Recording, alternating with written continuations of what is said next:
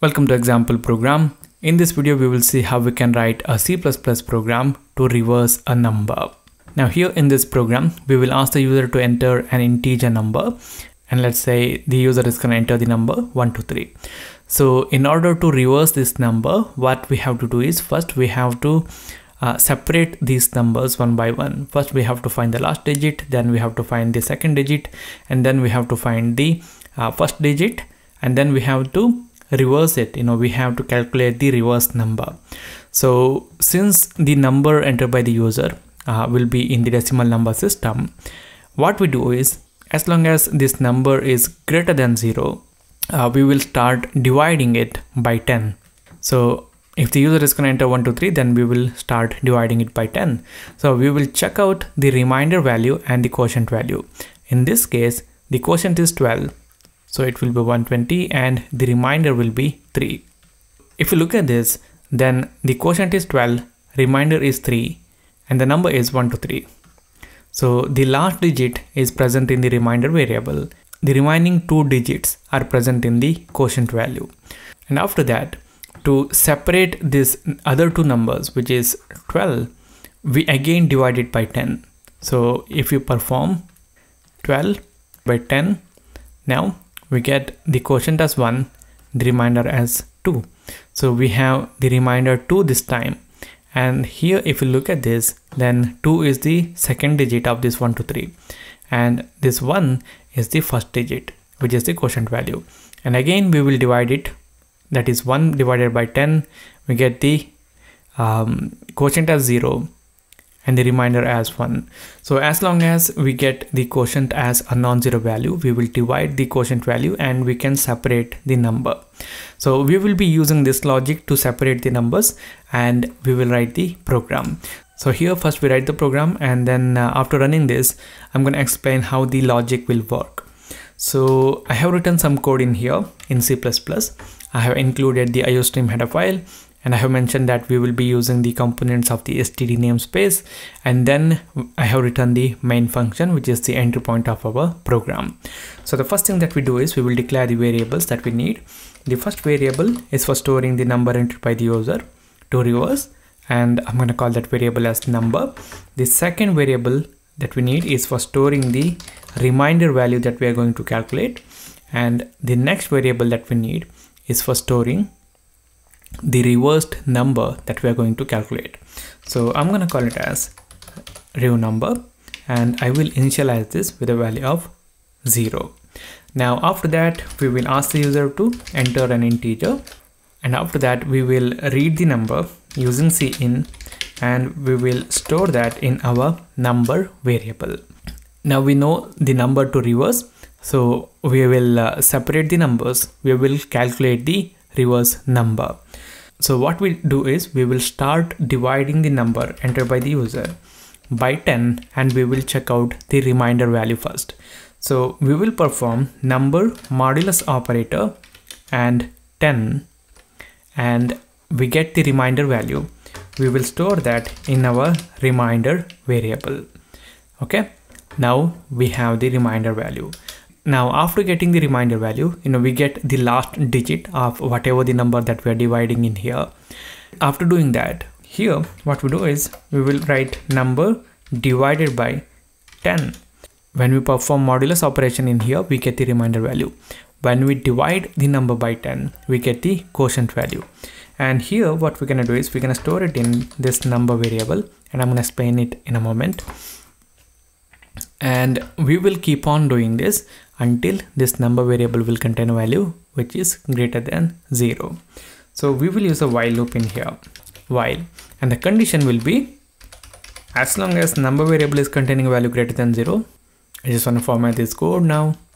So now if we run this program and and if we display the value present in this reminder variable then you know we have the separate numbers in each run but we want to calculate the reverse number. For example, if the user is going to enter 1, 2, 3, then we want to calculate the reverse number that is 3 to 1. We just don't want to display 3 to 1 on the screen. If we just wanted to display that, then we can do that by writing the reminder value here. For example, reminder, I'm gonna add a space in here and if we run this code now for example uh, 1 to 3 you guys can see we get 3 to 1 if I remove this space now and if I run this in here now uh, 234 you guys can see 432 but here we're just displaying that string value. So we don't have that number present in a um, in a in a variable you know we don't have that number. So in order to calculate that number what we do is I'm gonna write the code first and then I'm gonna explain it later. We will write reverse number equal to reverse number multiplied by 10 plus reminder. So I'm gonna run this program first and then I'm gonna explain how this logic will calculate the uh, reverse number. So what we are doing is uh, we have initialized the reverse number in the beginning to 0 then uh, with every iteration of this loop we are multiplying whatever the number present in the reverse number by 10 and to that number we are adding the reminder value. And again we are storing that in the reverse number variable. So outside this while loop i'm going to display the uh, value present in the reverse number variable. So here i'm going to write in reverse number is and uh, we will display that to the screen. Okay? Now i'm going to run this program first enter an integer.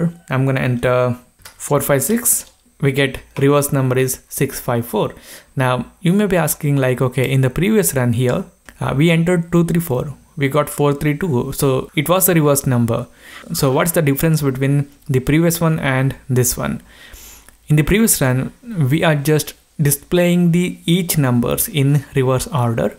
But right now we have that number present in a variable so let us see how this program will work let's assume that the user is going to enter the number 4 5 and 6 so number variable is going to contain 456 and in this program we have reverse number variable and we have initialized that with a value of 0. So we come to this while loop part after taking the input from the user after this cin. So first we check whether number variable is containing value greater than 0. Yes, number is containing 456 which is greater than 0. So we execute the body of this loop. So first we calculate the reminder value. So reminder equal to number modulus 10.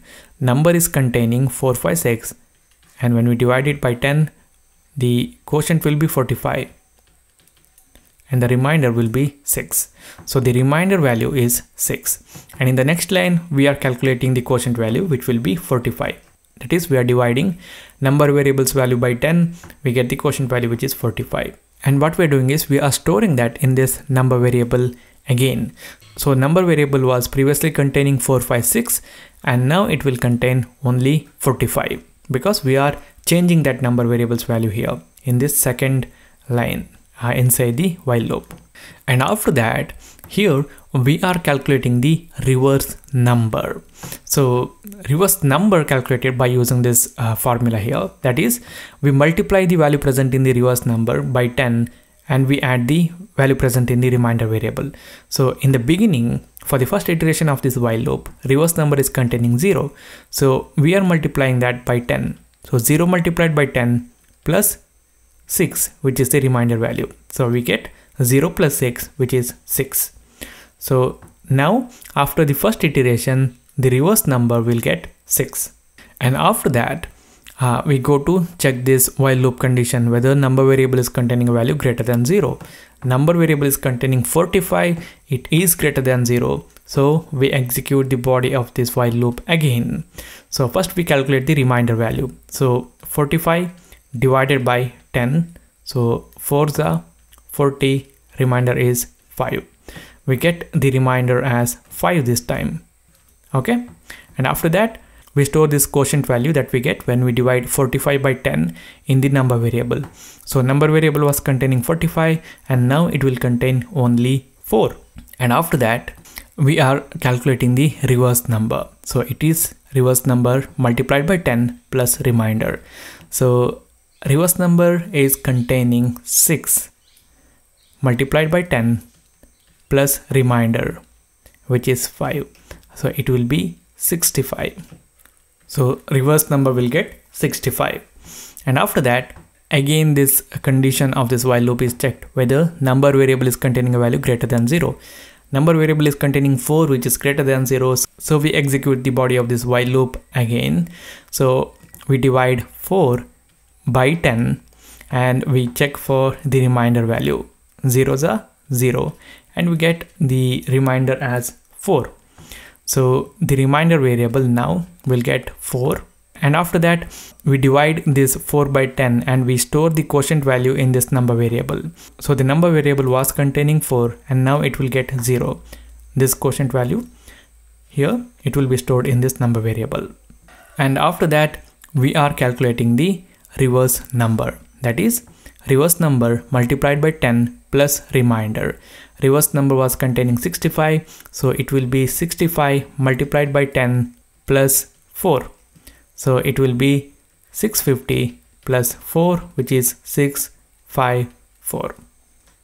So in the beginning we entered 456 and uh, we have the reverse number calculated which is 654 and after that the while loop condition will fail because number variable is not containing a value greater than 0 because number variable is containing 0 so 0 is equal to 0 and it is not greater than 0. So the while loop will stop. We come out of this while loop and this cout statement will display reverse number is the value present in the reverse number variable which is 654 and after that our program terminates. So this is how the program will work. Thank you for watching. If you like this video, hit the like button. If you don't like it, hit the dislike button. If you want to say something, then write that in the comment box. For more tutorials like this, do subscribe to the channel. Thank you for watching. I'll see you later in the next video.